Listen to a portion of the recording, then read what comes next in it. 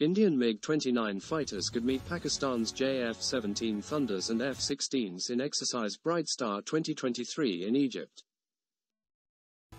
The US is also preparing for exercise Bright Star 23 in Egypt, where US pilots will face off against Indian MiG-29 fighters and Pakistan's JF-17 Thunder. The Indian Air Force, IAF, is participating in exercise Bright Star for the first time they have sent a contingent consisting of 5 MiG-29s, 2 IL-78s. The exercise will also include the participation of the US, Saudi Arabia, Greece, and Qatar. The objective of Exercise Bright Star is to practice joint operations planning and execution. The IAF sees its armed forces personnel as diplomats in flight suits and aims to strengthen strategic relations between the participating countries. The Indian MiG-29 is an upgraded variant of the Mikoyan MiG-29 fighter jets. It was developed to counter the US F-16 Fighting Falcons and F-A-18 Super Hornets. During the Kargil conflict, the MiG-29s played a crucial role in providing cover to Mirage 2000s carrying out bombing missions. Everything you need to know. Pakistani F-16s were obtained to provide ground support in Kargil. PAF fighters did fly combat air patrols, CAP. During the conflict, they stayed well within Pakistani airspace. MiG-29s were able to lock on to Pakistani F-16s, forcing them to disengage.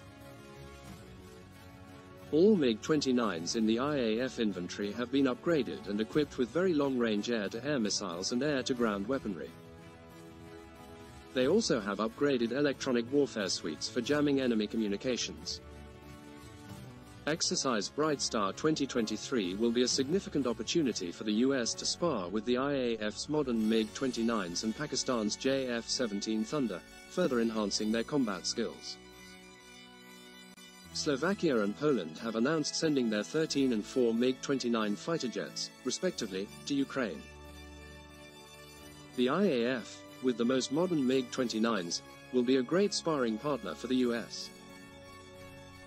The JF-17 is often considered more cost-effective, which can make it an attractive option for countries with budget constraints. The MiG-29, especially its newer variants, might come with a higher price tag. The JF-17 Thunder is a more recent design and aims to provide a balance between different roles, including air-to-air -air and air-to-ground missions. The JF-17 Thunder benefits from more modern avionics and electronics technology due to its more recent development.